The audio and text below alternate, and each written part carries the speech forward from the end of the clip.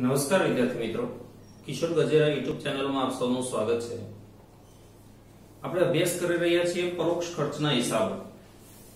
સામાન્ય રીતે કોસ્ટિંગની અંદર આ ચેપ્ટર આવતું હોય છે.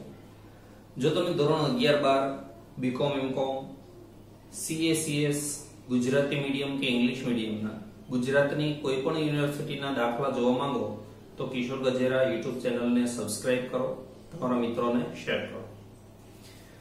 તો પરોક્ષ ખર્ચની આજે આપણે પદ્ધતિ નંબર ચાર અને છેલ્લી પદ્ધતિ, યાંત્રિક કલાક દર વાળી શીખવા જઈ રહ્યા છીએ. તો એના માટે તમારે પેમ્પલેટની જરૂરિયાત રહેશે. જે વિડીયોના ડિસ્ક્રિપ્શનમાં લિંક આપવામાં આવી છે, એને ટચ કરવાથી તમને એક પીડીએફ મળશે, જે તમે પ્રિન્ટ કરાવી શકશો. તો યાંત્રિક કલાક દરની પદ્ધતિ છે. એમાં યાંત્રિક કલાક દર દર્શાવતું પત્રક એક પત્રક બનાવવાનું આવશે એમાં બે પ્રકારના ખર્ચા હોય છે, સ્થિર અને ચલિત. યાંત્રિક કલાક દર એટલે યંત્ર એક કલાક ચાલે તો કેટલો પરોક્ષ ખર્ચ થાય એને યાંત્રિક કલાક દર કહેવાય. સ્થિર ખર્ચમાં સામાન્ય રીતે ભાડું કરવેરા, વીમા પ્રીમિયમ, પરોક્ષ માલ સામગ્રી એટલે કોટન, વેસ્ટ, ઓઇલ વગેરે. વીજળી દીવાબત્તી ખર્ચ, સુપરવિઝન ખર્ચ, પરોક્ષ કામદારોની મજૂરી, ભાડા ખરીદ હપ્તાનું વ્યાજ આટલી વસ્તુ સ્થિર ખર્ચમાં આવશે. જેનો ઉત્પાદન સાથે કોઈ લેવા દેવા નથી. ઉત્પાદન વધે કે ઘટે, જે ખર્ચ સ્થિર રહે છે એને સ્થિર ખર્ચ કહેવાય છે. બસ છે ચલિત ખર્ચા. એમાં સામાન્ય રીતે પેલો ઘસારો. ઘસારાની ગણતરી કરવા માટેનું એક સૂત્ર આપ્યું છે કે મૂળ કિંમત પ્લસ ગોઠવણી ખર્ચ માઇનસ ભંગાર કિંમત છેદમાં આયુષ્ય. બીજું સમારકામ નિભાવ અથવા મરામત, એવો શબ્દ આપે ઘણી વખત. ત્રીજું, રસાયણ ખર્ચ, કેમિકલ ખર્ચ. અને પાવર ડીઝલ, એટલે બળતણ. આ ચલિત ખર્ચા એવા હોય છે કે જે ઉત્પાદન સાથે સીધી રીતે બદલાય.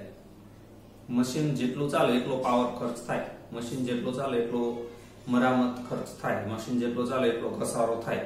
જેમ મશીન વધુ ચાલે, એમ આ ખર્ચા વધારે થાય. જેમ મશીન ઓછું ચાલે, એમ ઓછા થાય, એમ.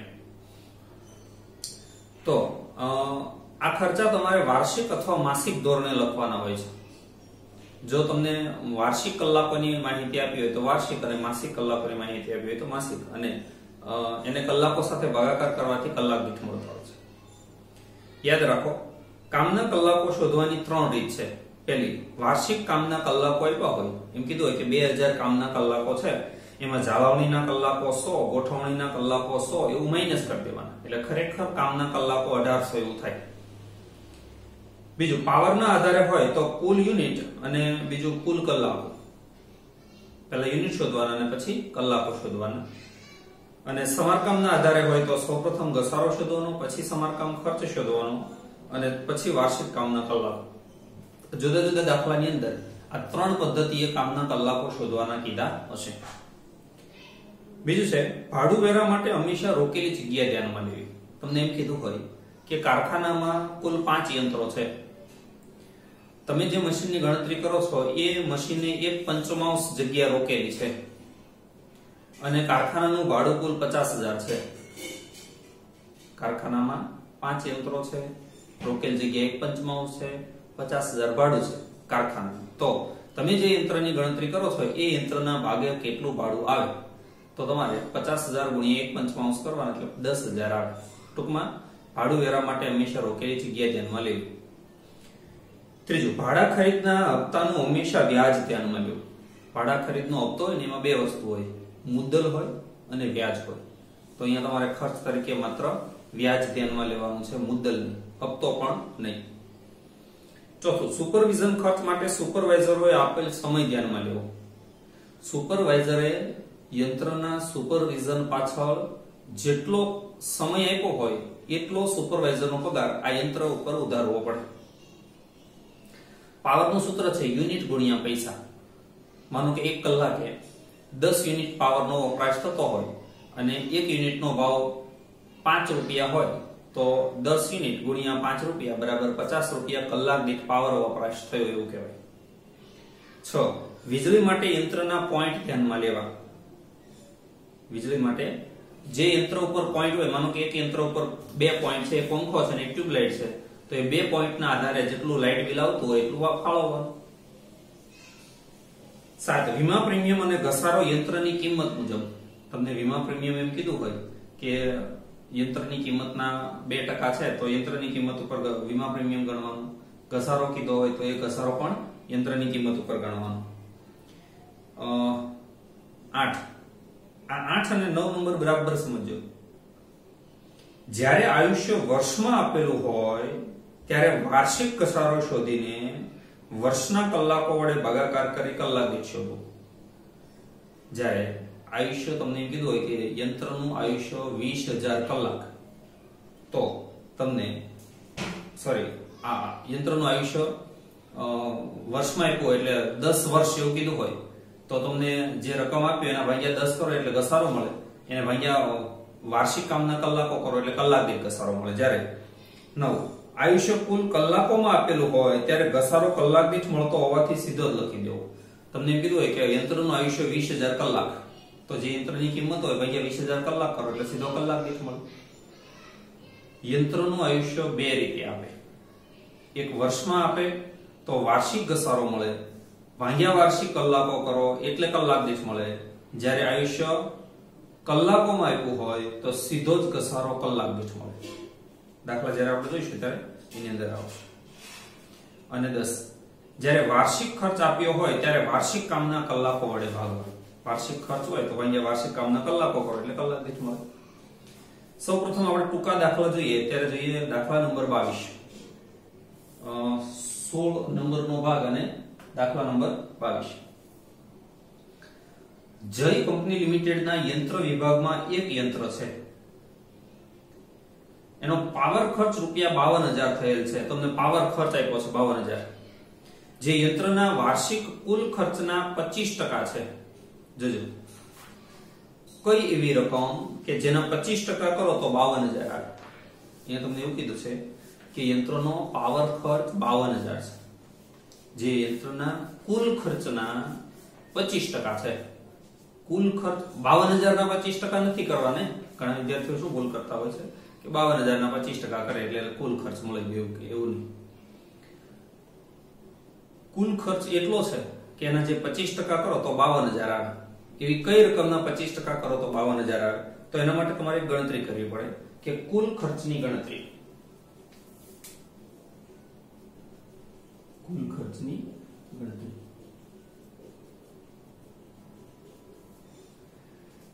એક નિયમ હંમેશા યાદ રાખવાનો કે જેના ઉપર ટકા આપ્યો એના બરાબર સો ધારી લેવાના. તમને એમ કીધું છે, કુલ ખર્ચના પચીસ ટકા છે એટલે કુલ ખર્ચ સો ટકા ધારી લેવાનો. એટલે પદ આવું મૂકવાનું. અને બીજો નિયમ, જેની રકમ આપી હોય એનાથી પદ શરૂ કરવાનું. અહીંયા પાવર આપ્યો છે એટલે લખવાનું કે પાવર જો પચીસ ટકા હોય, તો કુલ ખર્ચ તમને એમ કીધું છે કુલ ખર્ચના પચીસ ટકા છે તો કુલ ખર્ચ સો ટકા હોય મતલબ સો રૂપિયા કુલ ખર્ચ હોય ને તો એમાં પચીસ રૂપિયા પાવર ખર્ચ હોય એમ જો પાવર બાવન હજાર તો કુલ ખર્ચ કેટલું એટલે આવતો હોય બે લાખ આઠ હજાર જો હવે તમે બે લાખ આઠ હજાર ના પચીસ ટકા કરો તો બાવન હજાર થાય આવું કહે છે યુનિટ દીઠ પાસઠ પૈસાના ભાવે એટલે એક યુનિટનો ભાવ પાસઠ પૈસા છે. કલાક દીઠ સોળ યુનિટ આ યંત્ર વાપરે છે. એટલે એક કલાક યંત્ર ચાલે, એટલે સોળ યુનિટ પાવરનો વપરાશ થાય. એટલે હવે કલાકો શોધવાના યાંત્રિક કલાક દરની ગણતરી કરો. કેટલા કલાક કામ થયું તો કે કામના કલાકો શોધીએ? કામના કલાકો ને બે લાખ આઠ હજાર ભાગ્યા કરશો એટલે તમને યાંત્રિક કલાક દર મળશે. તો કામના કલાકો કઈ રીતે શોધવા એ આ દાખલાની અંદર બરાબર સમજી લેજો. કારણ કે આના પછી જે ટૂંકા દાખલા કે મોટા દાખલા આવશે, એની અંદર આવી જ રીતે કામના કલાકો શોધી અને પછી પત્રક બનાવવાનું આવશે. આમાં પત્રક નથી બનાવવાનું. સૌ પ્રથમ પાવર ખર્ચ શોધી દેવાનો. કલાક દીઠ પાવર ખર્ચ. પાવર ખર્ચ કલાક દીઠ બરાબર સોળ સોળ યુનિટ ગુણ્યા જીરો પોઈન્ટ પાસઠ દર. એટલે દસ રૂપિયા અને ચાલીસ પૈસા. કલાક દીઠ પાવર ખર્ચ આવે. એક કલાક યંત્ર ચાલે તો પાવર ખર્ચ આવે દસ પોઈન્ટ ચાલીસ. એટલે હવે તમારે આનાથી પદ શરૂ કરવાનું. કે જો રૂપિયા દસ પોઈન્ટ ચાલીસ હોય, તો એક કલાક. પાવર ખર્ચ કલાક દીક્ષનો શું મતલબ થાય? કે એક કલાકે દસ રૂપિયા ચાલીસ પૈસા. એટલે દસ રૂપિયા ચાલીસ પૈસા એક કલાક. તો બાવન હજાર કુલ પાવર ખર્ચ તમને આપ્યો છે. બાવન હજાર કેટલા? એટલે પાંચ હજાર કલાક આવશે. ફરી વખત. પાવર ખર્ચ કલાક દીઠ, યુનિટ ગુણ્યા દર, સોળ યુનિટ ગુણ્યા પાસઠ પૈસા, એટલે દસ રૂપિયા ને ચાલીસ પૈસા, કલાક દીઠ એટલે એક કલાકે. હવે તમારી પાસે પાવર ખર્ચ રૂપિયામાં છે, એટલે આનાથી પદ શરૂ કરવાનું. કે દસ રૂપિયા ને ચાલીસ પૈસા એક કલાક, તો બાવન હજાર કેટલા કલાક? એટલે પાંચ હજાર કલાક યંત્ર ચાલ્યું હશે. દસ રૂપિયા લેખે, દસ રૂપિયા ને ચાલીસ પૈસા લેખે તમારે લાઇટ બિલ બાવન હજાર રૂપિયા આવ્યું છે. હવે, મુખ્ય વસ્તુ, યાંત્રિક કલાક દર શોધવાનો કીધો છે. તમે પહેલી પદ્ધતિની અંદર આ સૂત્ર જોઈ ગયા પદ્ધતિ નંબર એક વિવિધ પ્રકારના દર હોય યાંત્રિક કલાક દર બરાબર પરોક્ષ ખર્ચા છેદમાં યાંત્રિક કલાકો તો પરોક્ષ ખર્ચા આ બે લાખ આઠ હજાર જો આની અંદર પાવર ખર્ચ સમાઈ ગયેલો છે આ કુલ ખર્ચના પચીસ ટકા લીધે જે પાવર ખર્ચ આપ્યો તો એ પરોક્ષ ખર્ચા બે લાખ આઠ હજાર અને છેદમાં કામના કલાકો પાંચ હજાર. યાંત્રિક કલાકો. એટલે એકતાલીસ પોઈન્ટ છ રૂપિયા. આનો મતલબ એવો થાય કે જો યંત્ર એક કલાક ચાલે, યંત્ર એક કલાક ચાલે, તો લગભગ એકતાલીસ રૂપિયા અને સાહીઠ પૈસા જેટલો પરોક્ષ ખર્ચ થાય. આવો એનું તારણ નીકળે યાંત્રિક કલાક દર થેન્ક યુ વેરી મચ